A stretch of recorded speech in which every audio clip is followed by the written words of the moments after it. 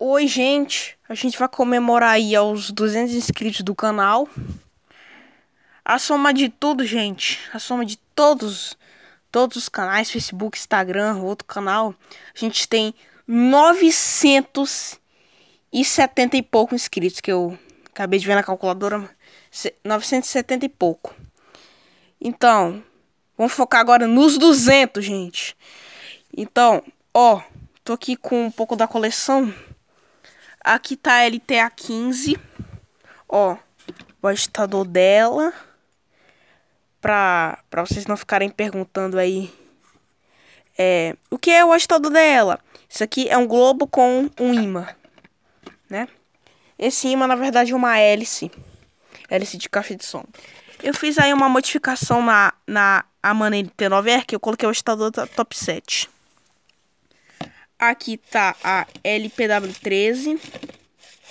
Como eu já disse para vocês, mecânica de LPI 21.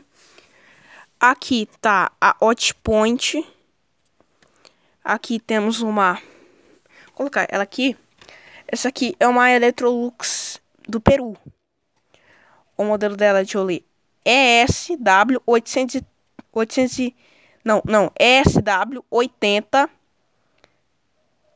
SW80 JWW. O impeller dela é de 5 pás. Aqui tá a LAC 09 da nova versão. E aqui a Samsung Top Load 6 kg e a Grato Neo. Bom, é, agora a Grato vai virar um hotel. Tchum, tchum, tchum. Pronto, virou um hotel a Grato. E as lavadoras vão se hospedar. Primeiro da menor para maior, né? A menor Hot Point depois vem a Samsung. Depois vem a, a 9 quilos aqui. 9 quilos não, 8 quilos e meio. Gente, essa LAC 09 nova versão é 8 quilos e meio. Foi que vem ter essa nova versão da LAC 09. E aqui a LPW13, pra quem não viu. Ó. Eu quase que eu coloquei ela assim. Só que assim a lavadora fica quadrada. Tem que colocar um cesto aqui pra poder ficar mais realista.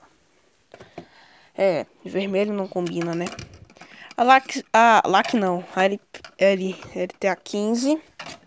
E para finalizar, a Amana LT9R. Bom, eu peguei isso aqui escondido da minha mãe. Por isso eu vou colocar aqui embaixo. Que filho é muito esperto, né, gente? A mãe acaba descobrindo as coisas aí. É. Bom. Então é isso, né, gente? vou guardar aqui as máquinas. Tchau. Olha a cabaninha aqui. Olha que legal.